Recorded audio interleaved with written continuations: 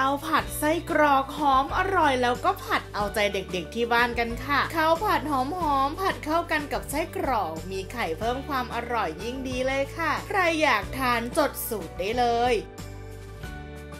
ตั้งกระทะเทน้ำมันลงไปค่ะ ตามด้วยกระเทียมสับ ผัดให้ส่งกลิ่นหอมดีเลยแล้วต่อด้วยไส้กรอกที่เตรียมไว้ ผัดไส้กรอกของเราให้สุกทั่วกันทุกชิ้นค่ะ ต่อด้วยตอกไข่ลงไปตอกใส่ลงไป 3 ฟองนะคะ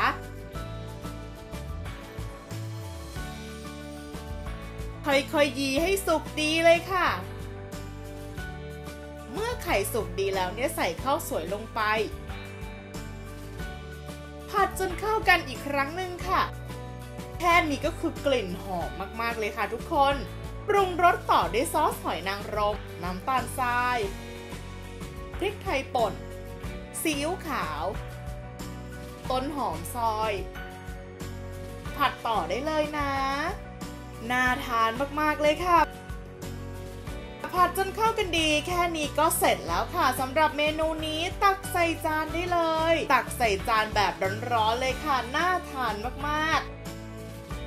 เสร็จเรียบร้อยแล้วค่ะสำหรับเมนูข้าวผัดไส้กรอก ไข่เอ่ยไส้กรอกเอ่ยยิ่งอร่อยเลยค่ะ ใครไม่อยากพลาดเมนูเด็ดๆ อย่าลืมกดติดตามเพจชีวิตติดครัว IG TikTok ติดคุกกิ้งและกด subscribe ชีวิตติดรีวิวกันด้วยนะคะ